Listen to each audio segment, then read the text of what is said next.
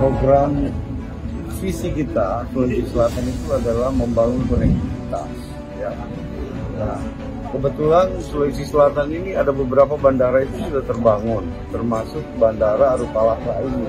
Jadi saya bersama kepala otorita bandara ya, melihat langsung kondisi existing bandara ini. Ini sebenarnya tinggal dipoles sedikit Ya, yang pertama adalah akses jalan masuk. Akses jalan masuk kita sudah ambil alih. Pemerintah provinsi akan menyelesaikan. Ya. Terus yang kedua nanti saya akan bicara dengan Menko supaya perpanjangan runway ini itu di, di, dilakukan oleh Kementerian Perhubungan. Karena peralatan yang lain sudah cukup. Apalagi Bone ini adalah salah satu penduduk terbesar setelah Makassar, ya. Nah, dan banyak orang-orang Bone ada di Kalimantan, ada di Sulawesi, Sulawesi Tenggara, Sulawesi Tengah dan sebagainya.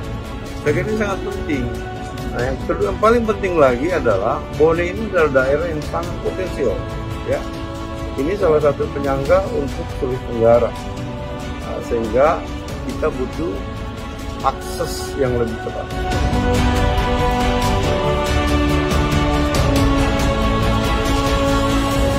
Bone ini potensinya luar biasa, luas wilayah yang begitu besar, tapi itu akses ke sini. Bayangin kalau dari Makassar bisa 5-6 jam ke sini, ya. Nah, kalau kita buka bandara ini, kita fungsikan bandara yang lebih cepat, akses dari Makassar ke Bone tinggal 25 menit. Apa yang akan terjadi? Pasti para investor juga udah mulai melirik ke sini karena aksesnya bisa ditempuh dengan cepat.